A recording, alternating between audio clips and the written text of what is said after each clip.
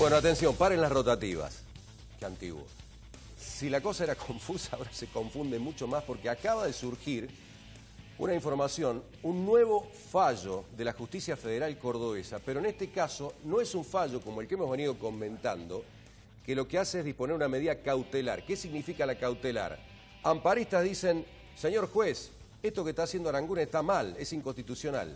¿Qué dice el fallo? Bueno, ¿qué le dice Cogas? A ver, señores de Cogas, hasta tanto se defina si tienen razón los amparistas que dicen que está mal o tiene razón el gobierno que dice que está bien, no innove, no aplique la, nueva tarifa hasta que se dilucide la cuestión de fondo. ¿Cuál es la, la cuestión de fondo para hacerlo brutamente? Si está mal o está bien. Bueno, ¿cuál es la novedad?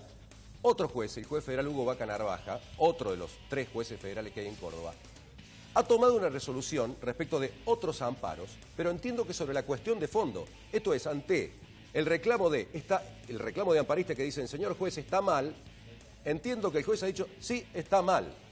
Doctor Vaca Narvaja, ¿cómo le va? ¿Qué dice usted? buenas tardes. ¿Qué tal? Buenas tardes. Eh, en realidad, bueno, lo estaba escuchando usted, no, la, resolución mía es eh, en sintonía con la resolución de la Cámara dictada ayer, es decir, sobre la medida cautelar. Todavía nadie se ha pronunciado sobre la cuestión de fondo de estos amparos, sino simplemente ha habido pronunciamientos sobre las medidas cautelares solicitadas. ¿sí?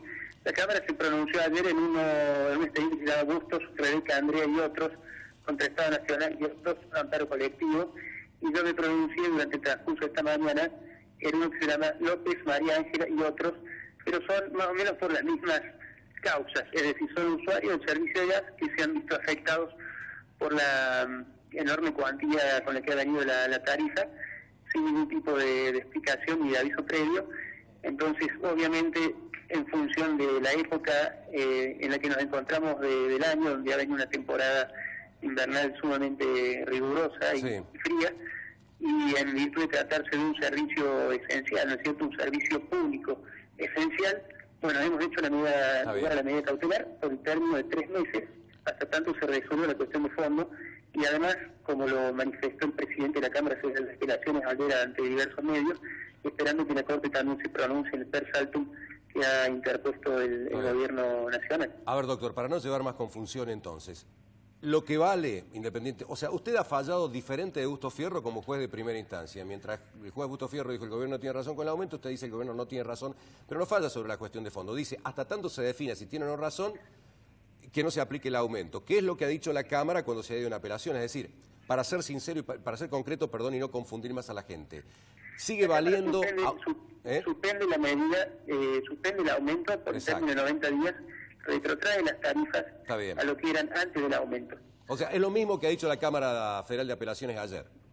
Exactamente, mi pronunciamiento va en la misma sintonía, por el mismo tiempo, pero además, digamos, lo que yo estoy diciendo es que habiéndose pronunciado la Cámara, ¿sí? Eh, en toda la provincia, ya cualquier pronunciamiento de cualquier juez de primera instancia deviene abstracto porque la medida cautelar que ha establecido la Cámara es para toda la provincia de Córdoba, ¿sí? Entonces, ningún juez eh, de primera instancia de la provincia se puede ya pronunciar sobre esta medida cautelar y ya la Cámara lo, lo Claro. ¿Me, explico? O sea, con lo cual, digamos, a usted, más allá de que su convicción es fallar como ha fallado, no le queda otra que fallar en este sentido, porque ya se pidió la Cámara. Podría fallar eh, en un sentido inverso, pero ¿qué pasa? Estaría violentando los principios de economía procesal y de concentración procesal, es decir, si la Cámara, que es una instancia superior, ya tiene un criterio sobre esta medida cautelar, yo tendría que este, seguir este criterio respetando los principios de lo que hice alusión recién, ¿sí? Doctor, ha sido muy claro. Le mandamos un abrazo y muchas gracias. ¿eh? No, por favor, gracias a ustedes. Bueno.